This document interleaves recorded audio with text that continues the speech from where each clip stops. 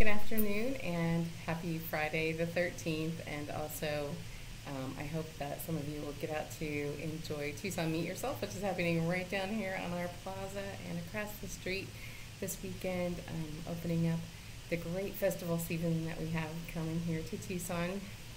Time to get out and enjoy the weather. Although we still are in October, where you still might fry your face off. Um, uh, today, I just want to do a little catch up on some things. Uh, I know you've been hearing from Judy and also from your ECAP representatives at your branch that um, it's that time of year for giving through United Way and the county in payroll deduction or one time donations. And so I hope that you'll all um, think about giving if you are able uh, during this time.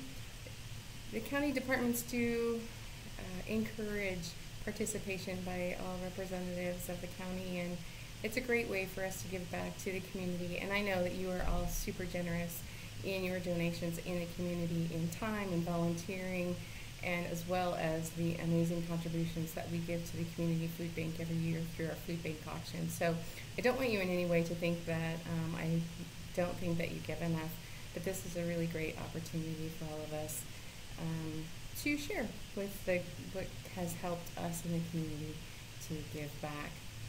So that's one thing I wanted to mention today. And also, I needed to express to all of you how important it is for you to approve your timesheets.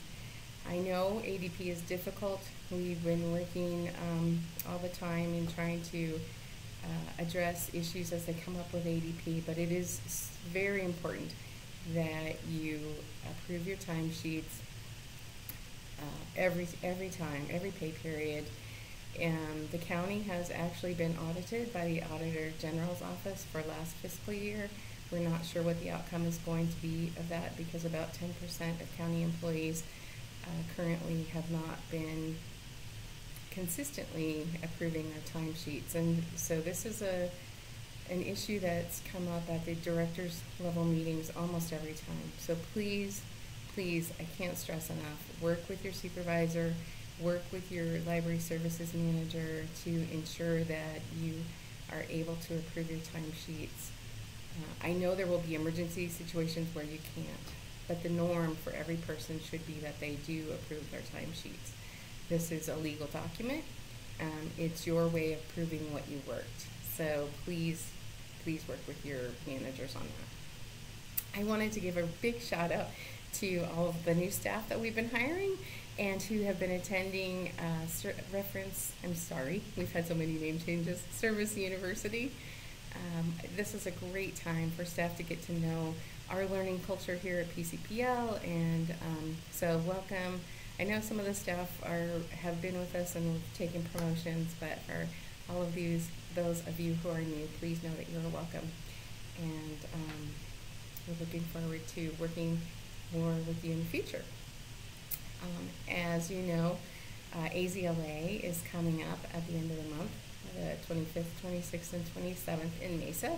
We have a lot of our staff who um, are involved with AZLA. This is the end of my past presidential year, so I won't be holding office with AZLA anymore. However, a big congratulations to Michelle Simon, who is the current uh, incoming president, well, she'll pres- vice president, and then she'll be president next year. So, yay to Michelle Simon. And also, we have some of our folks who won awards at the, and will be recognized at AZLA this year.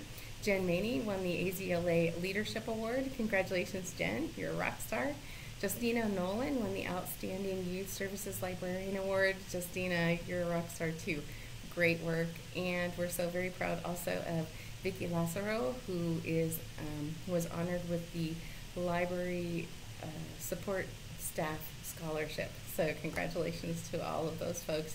And thank you so much for giving your time to the Arizona Library Association, which is an amazing organization that works to support libraries of all kinds throughout Arizona and also helps to provide um, a lobbyist with the state legislature and they keep an eye on things for us to make sure if there are laws being passed that affect libraries that we're able to have a voice in that conversation. So Um, they work very closely with the Arizona Library Association legislative team, and uh, that's a, a really great opportunity for us to um, get the word out about libraries in Arizona.